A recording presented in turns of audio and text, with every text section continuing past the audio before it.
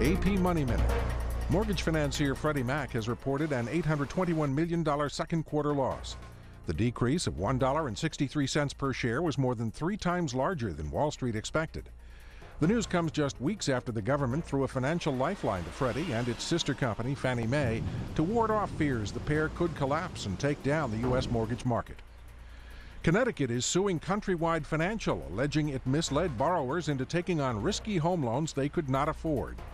The state alleges the mortgage giant violated its consumer protection laws and charged unjustified fees to homeowners who defaulted.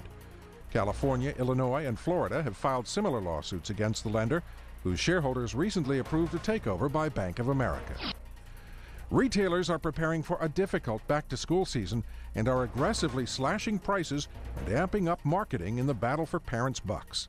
Just how skittish shoppers are feeling will be seen tomorrow when many retailers report their July sales for stores open at least a year. A weak back to school season may signal trouble for the all important holiday season, which begins not long afterward.